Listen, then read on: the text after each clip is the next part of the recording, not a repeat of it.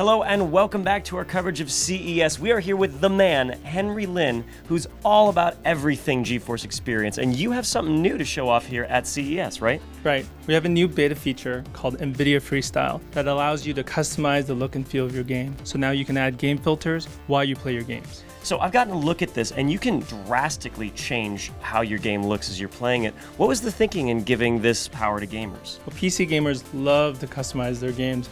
There's a huge modding community out there, and so at the driver level, we're able to add an engine in there where we'll give you 15 filters, 38 customized settings, and you can change and tweak to whatever you like so you have your own personal game experience. That's pretty awesome. How do I use it? Uh, all you have to do is hit Alt F3 and then you have a menu on the left and you can pick and select your filters and start stacking away.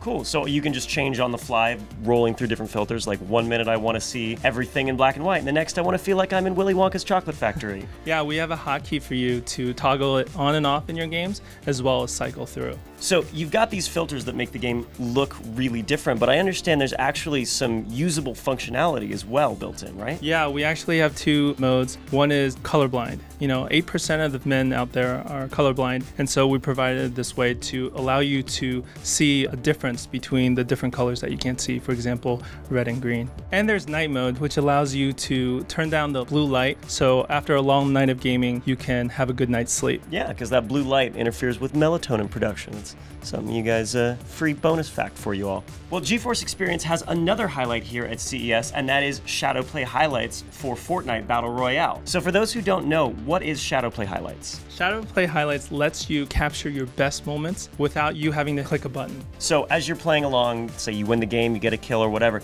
the game just knows that and it automatically clips it for you, and at the end of the game just says, do you want to save it, right? Right. There's a little highlights button there, you click on it, and all your, you know, kills and deaths are right there. I like this like one button or two button thing because I can't remember shortcuts very well. And finally, we have one more announcement. Ansel's gotten an update. What have you guys done with Ansel? Yeah, we streamlined the UI. We've added eight more filters, as well as the ability to stack. So, you know, you can think of it as real-time editing. What you see is what you get. So GeForce Experience is getting all these new features. They're easy to use. You can customize how you play your game, how you capture it. When can you actually use it? You get it today. Today! Yeah. Get the latest Game Ready driver, get GeForce Experience, and check the beta box. Well, guys, we cannot wait to see what you come up with with these new tools that Henry has given you. So go ahead, check it out, send them our way, whatever you come up with, and don't forget, stay tuned for more coverage on GeForce.